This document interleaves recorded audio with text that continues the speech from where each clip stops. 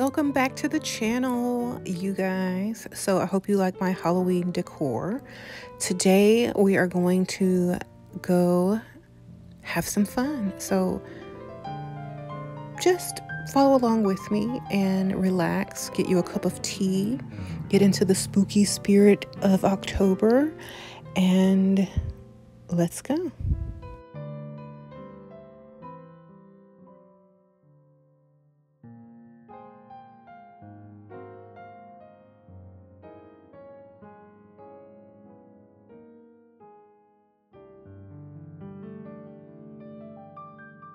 It wouldn't be fall without some crafting. So I am painting this fall tic-tac-toe set with pumpkins and fall leaves that I got at the Dollar Tree.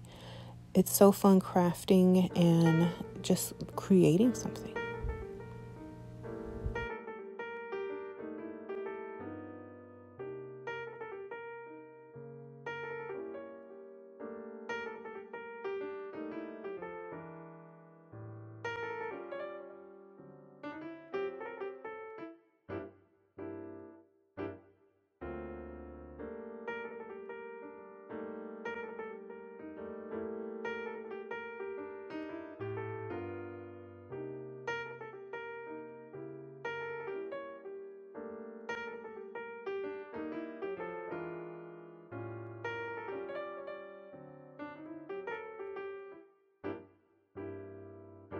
Actually using acrylic paint and some glitter. And this is the finished result. Hi, now let's go to the pumpkin patch.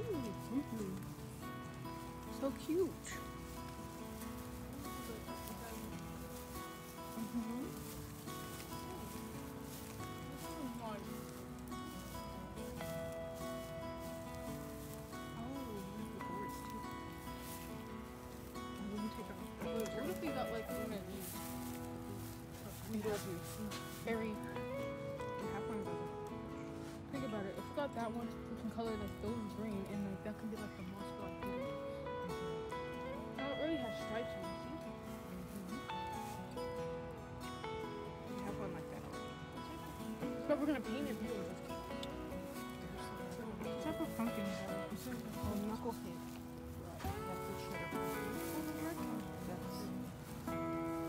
I don't want that one. That one's perfect right there.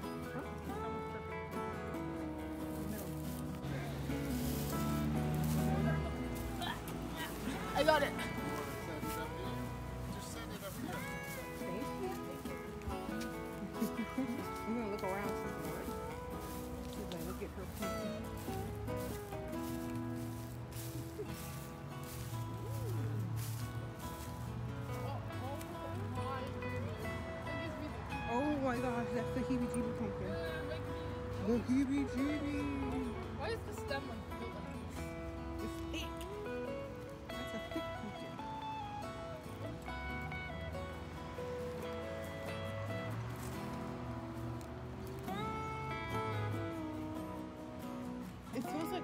Like pumpkin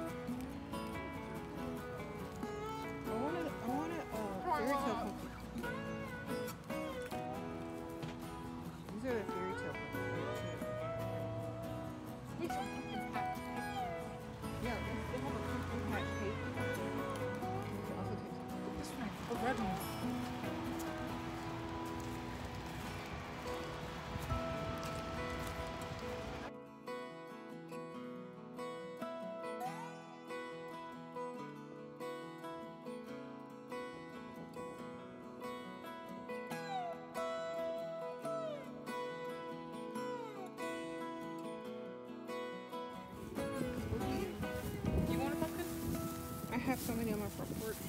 But we want to paint them. Maybe we could do some of these for the tabletop. Doing black and white.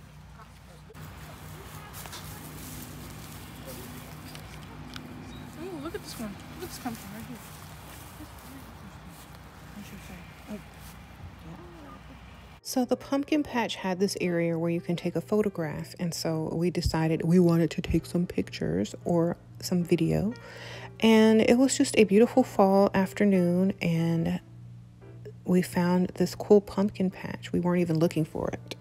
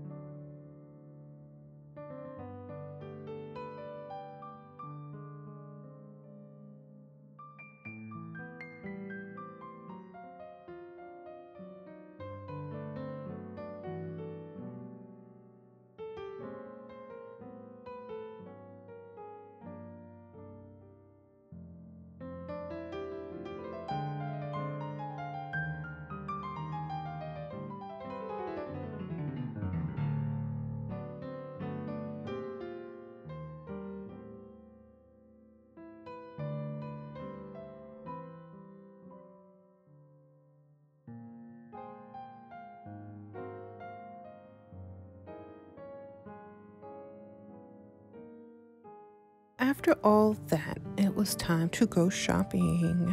So I went to the mall and I went to the store pink and I got me some lounge clothes and some walking clothes for the cooler weather. As you can see, I got this cute um, jogger uh, set that's green and then some gray joggers along with some other stuff I picked up at a different store.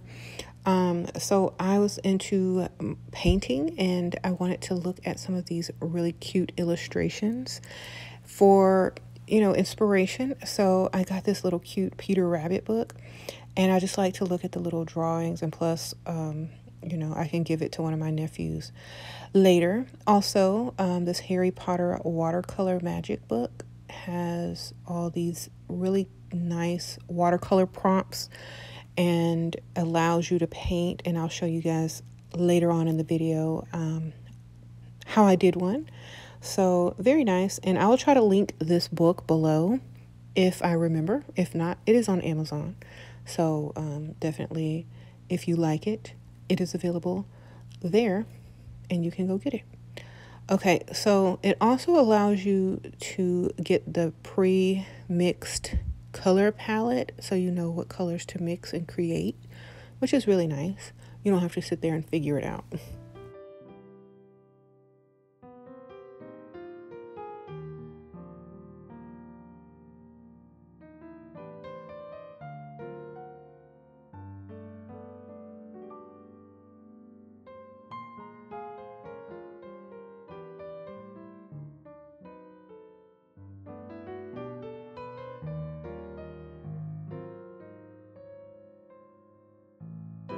also got this really nice set of watercolors. I believe there's 48 colors. It comes with brushes, water brushes, um, palette, and it has paper that goes with it as well. And it also comes with a pencil. So I think that was a really good deal. It also has metallic paints in there.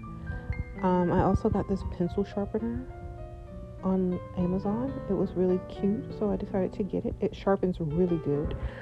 Um, I also picked up this handheld sharpener to take with me if I should go somewhere, and it holds all the shavings and things like that. I also picked up some Sketcher shoes for walking. These are really nice. They're all vegan and they are so comfortable.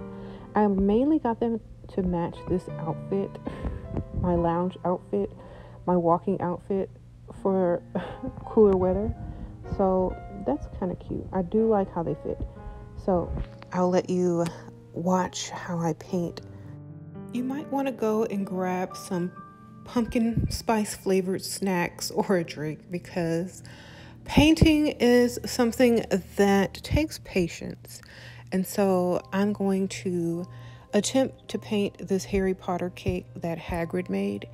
Um, I'm going to premix all the colors that are shown and attempt to go ahead and do this for you guys. So let me know what you think. It's not as hard as it looks and it's fun and it also is very relaxing.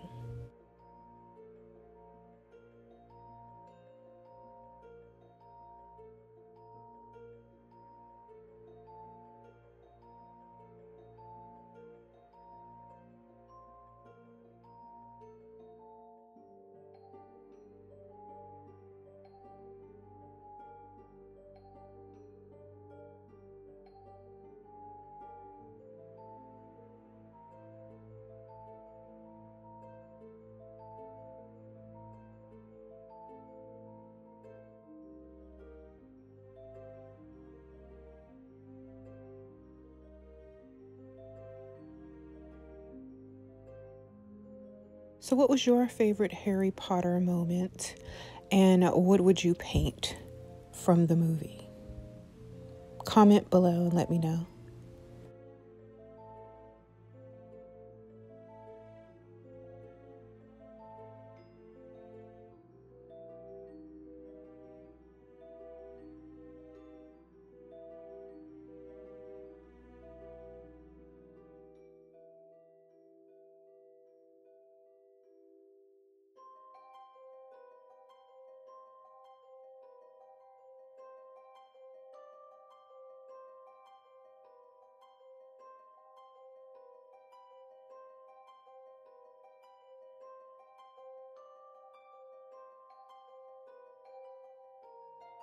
The lettering was a little tricky. I think I had a little bit too much water on my brush, but I tried and it came out pretty decent. So, FYI, if you do try this, make sure you blot your brush just a little bit if you're doing watercolor.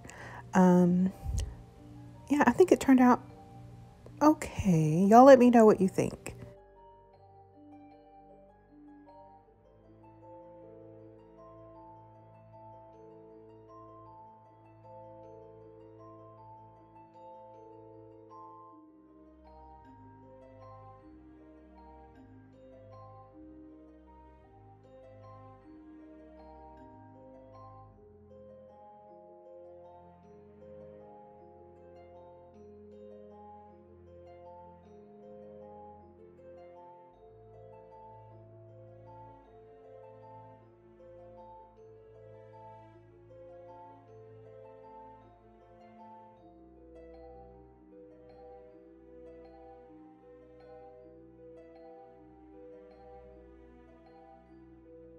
I will also have this paint set as well as the book linked in the description and in the comments as well below.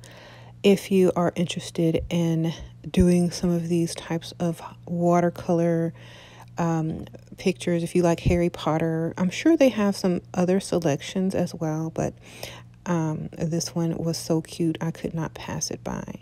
And I also used a black pen to kind of outline to make it more detailed. So um, I'll try to have a link for those as well below. So let me know how you think this turned out. Did I do a good job? And does this inspire you to be more artistic and maybe cultivate more of your hobbies and skill sets that maybe have been lying dormant for a while? I think autumn is the perfect time to start getting back into our hobbies and creative ways since a lot of the activities are now going to be more indoors. It is the perfect time to break out your paints, pencils, and paper. this is how it turned out. Hope you like it. Now I'm actually starting on a whole nother project. I'm going to be attempting to draw this really beautiful vintage perfume bottle. I actually keep my face setting spray in this, but now it's a still life for me to paint. Did you know that during the Victorian era and the Edwardian era, and probably a little bit before that, women who had talents, hobbies, and things like that were most likely wed. If their needlepoint was nice, if their musical talents were nice, if they played a musical instrument, if they were able to knit or sew very well, they were prime picks as wives. Isn't that hilarious?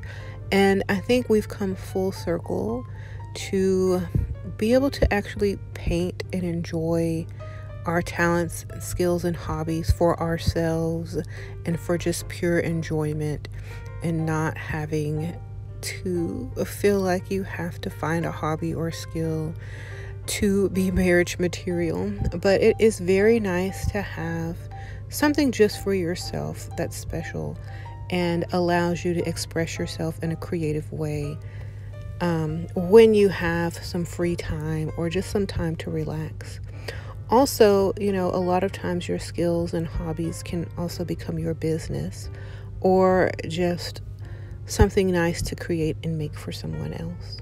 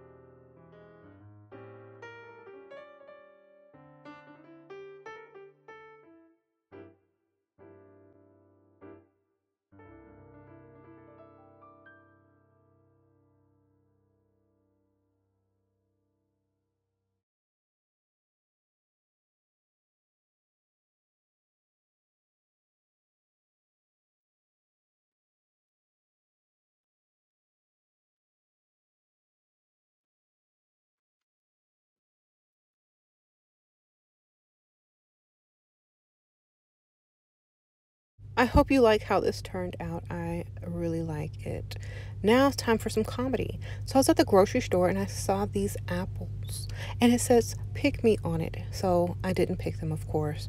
I went and got the other brand that did not say pick me on them because I'm not even going to eat pick me apples. That's hilarious. But I got these instead. They didn't say anything on them. So I think it's funny though. So after the little grocery shopping, I got a few items for making a more cozy ambiance in the house. I got this leather scented candle that smells so good. And I also got um, some cute sugar and cream witchy looking um, dishes that I got um, on sale. So we're in the Halloween section, as you can see, and we're just kidding around and playing. Um, they have some really nice decor. I believe this was Walmart, and this witch was like, oh my gosh, she was just talking the whole time. I think she's most motion detecting. But look at Scooby. Scooby Doo was one of my favorite cartoons growing up. So cute.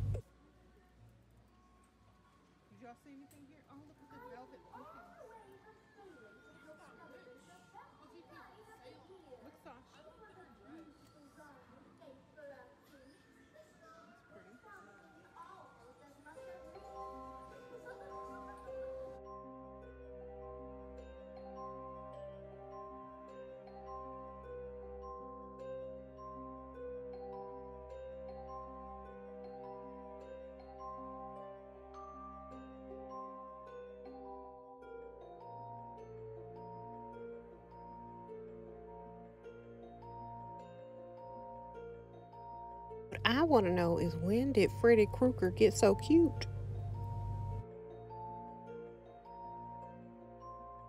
Yep, I had to pick up that Silk Sonic. Ooh, look at these cakes. Mmm, too bad we didn't get any.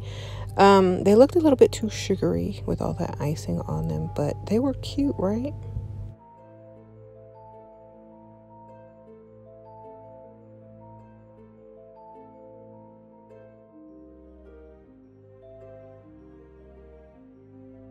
So now I am going to be making some dipped candles, and I got this idea from another YouTuber, and you may know her as the Writing Witch on YouTube. So um, I saw her video on candle magic and um, decided to make the candles that she was making in her video. So I saw this technique and decided that I wanted to try them. Um, instead of making them from scratch, I just bought some hurricane candles and just melted some wax from wax melts and other candles, and I also had some candle wax um, cubes, and I just dipped the hurricane candle in the wax over. Um, a pot with boiling water, and I have just a mason jar there. And then the water next to it in another jar to cool the wax. So dip in the wax, then dip in the water to cool it, then dip in the wax again, and dip in the water. And I also put some herbs and some um, petals and different oils into the candle and I made some spell candles. If you ordered one of my Coven mystery boxes, you may have received one of these candles.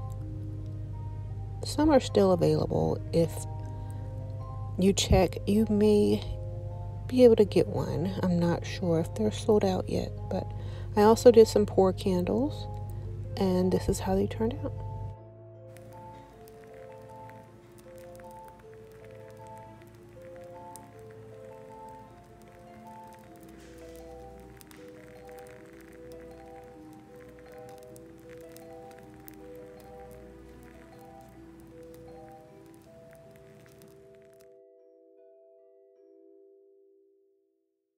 Thank you for spending some time with me and watching me create and just spend a lovely autumn afternoon with my family.